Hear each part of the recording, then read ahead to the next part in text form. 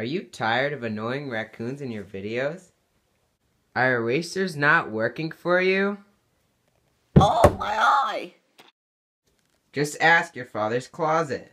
Hello, big boy. What can I do for you? I have a raccoon problem. I have just the thing. Here you are. Thank you.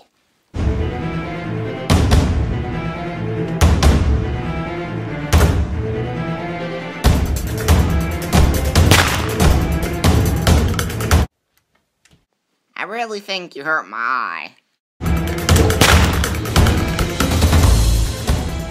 Hello, boys and girls. Make sure to mash that subscribe button.